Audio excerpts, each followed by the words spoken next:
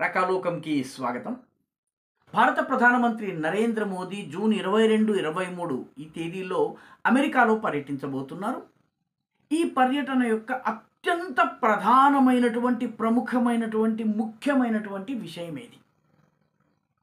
Red carpet welcomes లేకపోతే gun salutes లేకపోతే స్వాగత సత్కారాలు వైట్ హౌస్లో విందు సన్మానాలు ఇవన్నీ కూడాను ప్రతిసారి జరిగేవే ఈసారి కూడా జరుగుతున్నాయి. కానీ ప్రత్యేకత ఏంటంటే ఈసారి భారతదేశము అమెరికా నుంచి అత్యాధునికమైనటువంటి డిఫెన్స్ ఉత్పాదనలు రక్షణ రంగ ఉత్పాదనల్ని కొనుగోలు చేస్తుంది.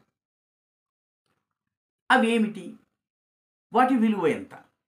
వాటిని ప్రిడేటర్ డ్రోన్స్ అంటారు. అమెరికా దగ్గర ఉన్నటువంటి ప్రపంచంలోనే అత్యాధునికమైనటువంటి డ్రోన్స్ అవి. డ్రోన్స్ అంటే మనందరికీ తెలుసు. డ్రోన్స్ అంటే మానవరహిత వాహన చాలకుడు లేనటువంటి ఆకాశంలో ఎగిరేటటువంటి చిన్న తరహా విమానాలు. వీటికి కెమెరా అమర్చి ఉంటుంది తద్వారా సర్వేలెన్స్ చేయడానికి వీలవుతుంది. సర్వేలెన్స్ అంటే నిఘా ఉంచడానికి ప్రత్యర్థి కదలికలపైన ప్రత్యర్థి యొక్క సైనిక మూమెంట్స్ పైన అదేవిధంగా మన సరిహద్దులు మన ప్రయోజనాలు ఉన్నటువంటి ప్రాంతాలలో రికనైజాన్స్ లేదా నిఘా వేయటానికి ఉపయోగపడుతుంది. రెండవది అవసరం అనుకుంటే లేజర్ గైడెడ్ మిసైల్స్ సహాయంతో ఈ డ్రోన్స్ ప్రత్యర్థుల పైన దాడి చేస్తాయి. దీనివల్ల ఈ దాడి వల్ల పిన్ పాయింటెడ్ యాక్యురసీ ఉంటుంది రేడార్లు కనిపెట్టలేవు. అదేవిధంగా ఇవి దగ్గరకు వచ్చేదాకా ఎవరు గుర్తించలేరు. మూడవది ఒకవేళ డ్రోన్ పడిపోయినా కూడాను ప్రాణ నష్టం ఉండదు. కాబట్టి దీని ద్వారా లేజర్ గైడెడ్ మిసైల్స్ ద్వారా పిన్ పాయింటెడ్ యాక్యురసీ తోటి లక్ష్యం పైన దాడి చేయవచ్చు. ఈ రెండు ప్రయోజనాలు డ్రోన్ ద్వారా జరుగుతాయి. అమెరికా దగ్గర ఉన్నటువంటి డ్రోన్స్ ప్రపంచంలోనే అత్యుత్తమమైన ఇజ్రాయెల్ దగ్గర ఉన్నటువంటి డ్రోన్స్ కానీ టర్కీ దగ్గర ఉన్నటువంటి బెరెక్టర్ డ్రోన్స్ కానీ యూరోప్లో కొన్ని దేశాలు తయారు చేస్తున్నటువంటి డ్రోన్స్ కానీ వాటన్నిటికన్నా అత్యుత్తమమైనటువంటిది. అమెరికా దగ్గర మూడు రకాల డ్రోన్స్ ఉన్నాయి. మొట్టమొదటిది ఎంక్యూ వన్ ఈ ఎంక్యూ వన్ డ్రోన్ని ప్రెడేటర్ డ్రోన్ అని కూడా అంటారు. రెండవది దీనిని కొద్దిగా డెవలప్ చేసిన తర్వాత ఎంక్యూ నైన్ డ్రోన్ అని తయారు తయారు చేశారు. ఈ ఎంక్యూ నైన్ డ్రోన్ డ్రోన్ని రీపర్ అని కూడా అంటారు. రీపర్ అంటే కోసేసేది అని అర్థం.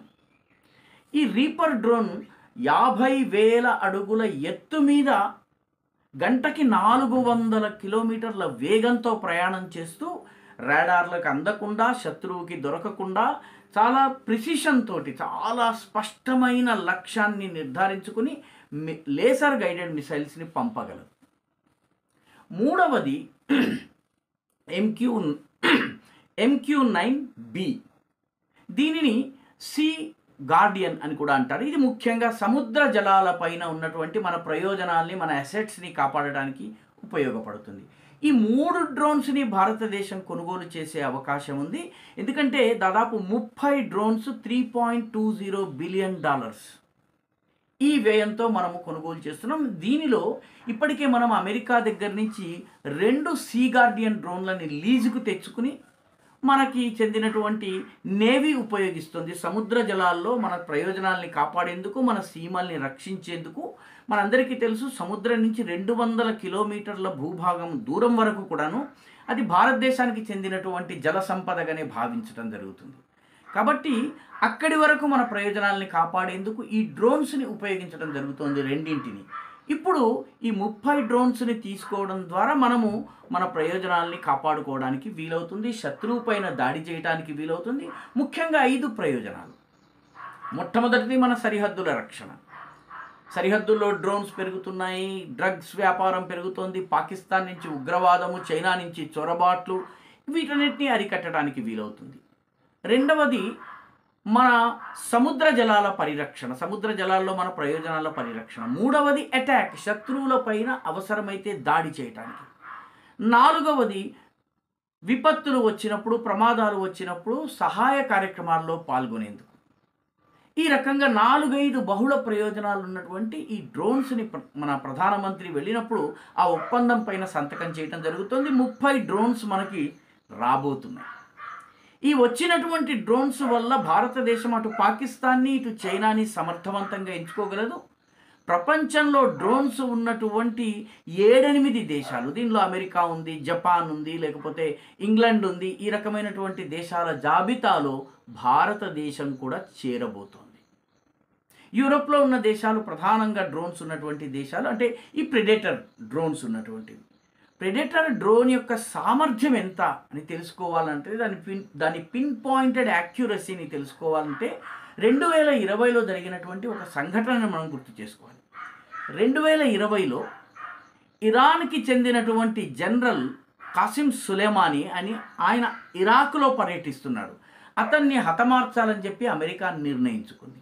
ఆయన ఇరాన్లో విమానం ఎక్కగానే పైన ఉన్నటువంటి ప్రెడేటర్ రీపర్ డ్రోన్ ఏదైతే ఉందో ఆయనని ట్రాక్ చేస్తూ వచ్చింది. ఆయన విమానం నుంచి దిగిన తర్వాత కాన్వాయ్లో ఎక్కి ఇరాక్ రాజధాని బగ్దాద్లో ఆయన పర్యటిస్తుంటే ఆయన ఎక్కినటువంటి కన్వాయ్ని ఫాలో చేసింది. ఆ కాన్వాయ్ని ఫాలో చేస్తూ కాన్వాయ్లో ఎన్ని వెహికల్స్ ఉన్నాయి? కాన్వాయ్లో ఏ వాహనంలో సులేమాని కూర్చున్నారు? సులేమాని కూర్చున్నటువంటి యూనిఫామ్ రంగేమిటి ఇక్కడి వరకు కెమెరా తీయగలిగింది. అంటే ఆరు సెంటీమీటర్లు ఉన్నటువంటి వస్తువుని కూడా నలభై వేల అడుగుల ఎత్తు నుంచి ఫోటో తీయగలిగే సామర్థ్యం ఉంది.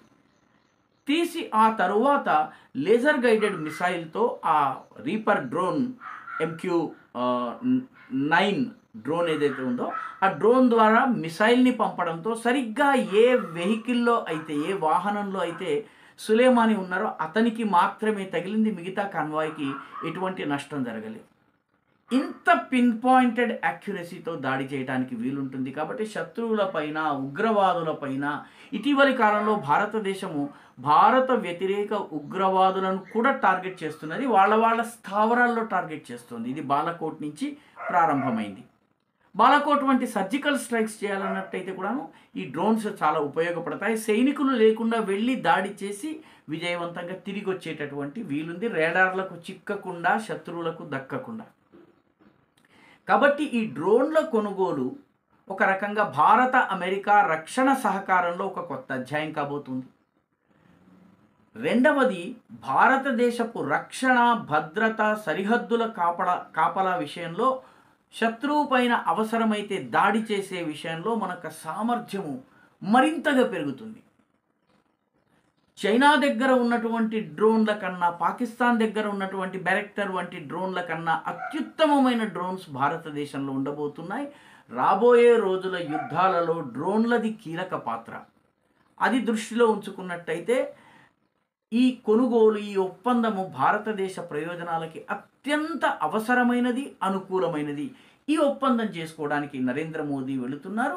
గగనతలంలో వాహన చాలకుడు లేకుండా కేవలము రిమోట్ ద్వారా సెంటర్ నుంచి కంట్రోల్ చేసేటటువంటి ఈ డ్రోన్లతో అటు పాకిస్తాన్ని ఇటు చైనాని మన సాగర జలాల్లో మన భద్రతని కాపాడుకునే విషయంలో మనము చాలా అద్భుతమైనటువంటి ముందడుగు వేయబోతున్నాం. ఈ దృష్ట్యా నరేంద్ర మోదీ అమెరికా యాత్ర అత్యంత కీలకమైనది. ఈ వీడియో మీకు నచ్చినట్టయితే లైక్ చేయండి షేర్ చేయండి ఈ ఛానల్కు సబ్స్క్రైబ్ చేయండి మీ అభిప్రాయాన్ని కమెంట్ల రూపంలో తప్పనిసరిగా పంపించండి.